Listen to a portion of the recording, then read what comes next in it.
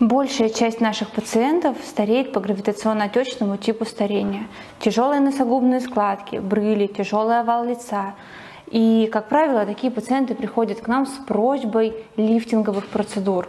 Как мы понимаем, выраженная подкожно-жировая клетчатка не дает нам эффективно провести большую часть методик. И для таких пациентов мы выбираем определенный курс – Давайте поговорим и разберемся, какие армирующие технологии существуют и что мы можем предложить нашим клиентам. Конечно, первое, что приходит в голову, это лифтинговые нити. Толстые нити с насечками, которые мы устанавливаем в подкожно-жировую клетчатку для того, чтобы перетянуть птозированную кожу.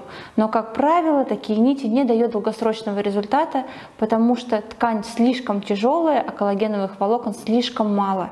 Поэтому результат от таких процедур длится достаточно короткий период. Для того, чтобы скомпенсировать данное состояние и улучшить качество коллагеновых волокон, мы можем применять препараты, которые мы называем жидкие нити. Жидкие нити делают нашу кожу плотнее на молекулярном уровне. И мы можем корректировать ими какие-то мелкие недостатки. Например, тонкая кожа вокруг глаз, не выраженные носогубные складки, первые признаки гравитационного птоза. Наилучший результат будут давать сочетанные методики жидкие нити, лифтинговые нити и, конечно же, классическое армирование мононитями и пружинками. Как именно подобрать правильный курс для определенного пациента мы будем разбирать 20 апреля на моем семинаре, который будет посвящен данной теме.